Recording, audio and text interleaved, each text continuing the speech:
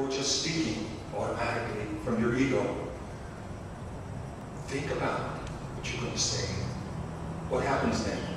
The divine, intelligent force of God comes in and tells you what to say, rather than you're doing it from old, some repeated back habit. Right? I watch my words before they become my actions. Oh, my thoughts create what? My words. And my words create what? My actions.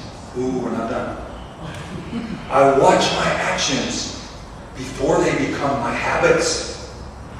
You ever see somebody who just walks around and repeats himself over and over the same thing? You feel like they have strings attached. That was me up until now. I watch my habits before they become my character. And I watch my character before it becomes my reality. You all comprehend that? Get that, take that deep inside. Watch your thoughts before they become your words. And watch your words before they become your actions. Watch your actions before they become your habits. Habits become your character, and your character becomes your reality, right?